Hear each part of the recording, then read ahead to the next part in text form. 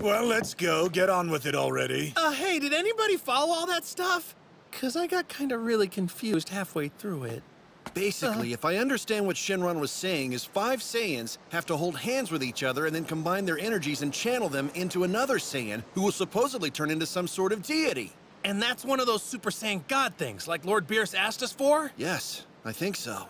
We're screwed. He specifically said we need Saiyans with righteous hearts. Even if you include the half-Earthlings, we've only got four.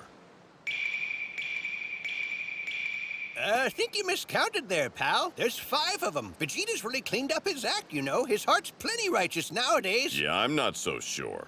Hold on! You're just being prejudiced. He's a good man and a great father. He even takes his family on lavish vacations. Come on.